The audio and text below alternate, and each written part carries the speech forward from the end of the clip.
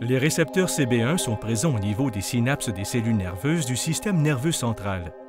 Ils sont plus particulièrement concentrés dans le cervelet et les noyaux gris centraux, régions du cerveau associées à la coordination motrice.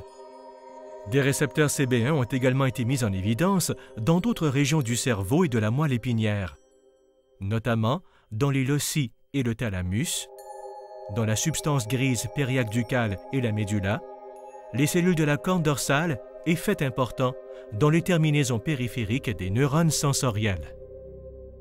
À noter que les récepteurs CB1 sont plus nombreux dans le cerveau que tous les autres récepteurs couplés à la protéine G, étant donné que l'une des fonctions principales de ces récepteurs est de moduler la libération des neurotransmetteurs, on peut les qualifier de neuromodulateurs.